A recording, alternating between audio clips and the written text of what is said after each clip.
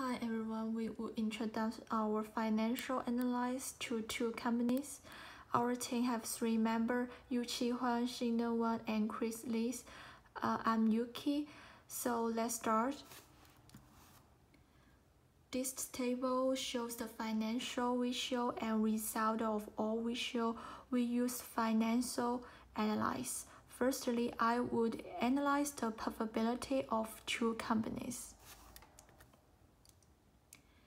This graph are comparison of two companies in for profitability ratios.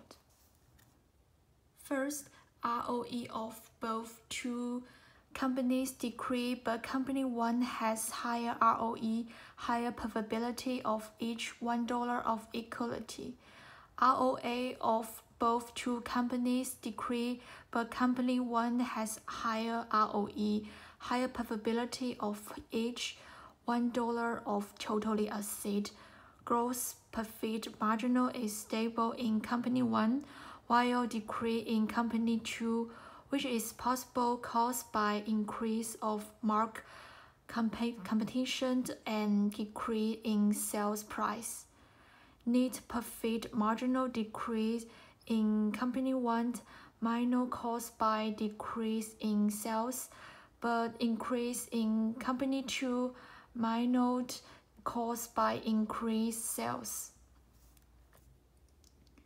Then I will analyze the liquidity of two companies. These two graphs show the comparison of two companies in current ratio and quick ratio. Current ratio of company 2 is 2.21 longer than 1 and longer than 0.8 of company 1. Company 2 has sufficient current assets and stronger liquidity to cover current liability, but liquidity of company 1 is not, not weak considering its business naturally. Uh, hello, I'm Xinlong Wang. Uh, also, you can call me Michael. Mm, so I will to continue to introduction. Uh, quick review. Uh, quick assets is uh, current assets excluding inventories uh, and prepayment.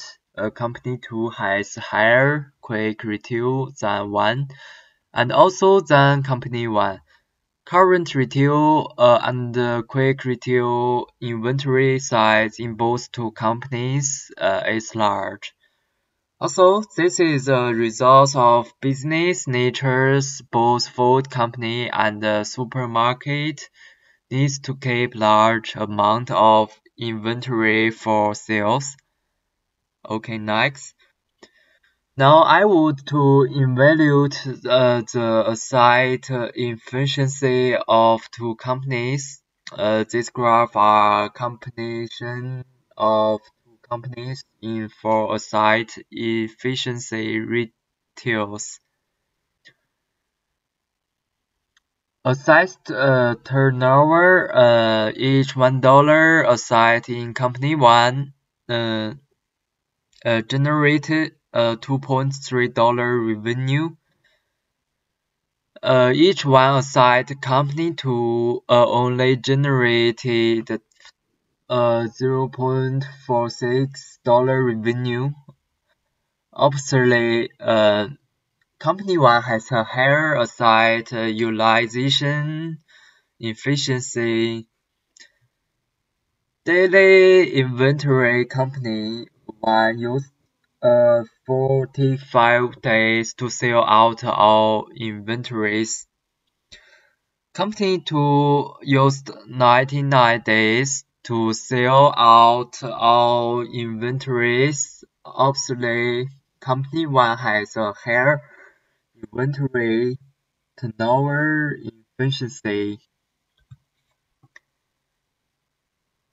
Debate days Company one used uh, six days to collect a trade receivable for customer. Uh, company two uh, used sixty-seven days to collect receivable from customers. faster receivable collection, benefit uh, liquidity of company one, longer cash collect or debtor uh, days easily lead to bad debt to company. Uh, okay, uh, credit, uh, creditor is also mentioning creditor is uh, only use a days to pay a creditor company uh, 105 days to pay off payable.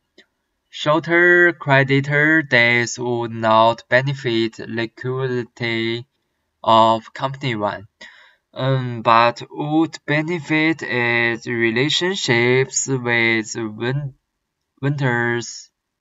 Okay, next is a quiz to is continue to introduction. Thank you. Next, let me show my evolution to the capital structure of two companies. These two graphs show the companies in debit or asset ratio and interest coverage time. Debit or asset ratio is proportion of debit in company 1 is much higher than in company 2, over 6 percentage. Company 1 faces higher financial pressure and risk. Interest coverage time. Comparing with interest cost, Company should generate more EBIT, five times as much as interest cost. Interest coverage time of company 2 is only 1, so company 1 has stronger solution. Overall, Company 1 has better financial performance. Company 1 has stronger solution and the assets efficacy and the no weak liquidity. Although net profit margin is lower, Company 1 has stronger ROA and ROE than Company 2.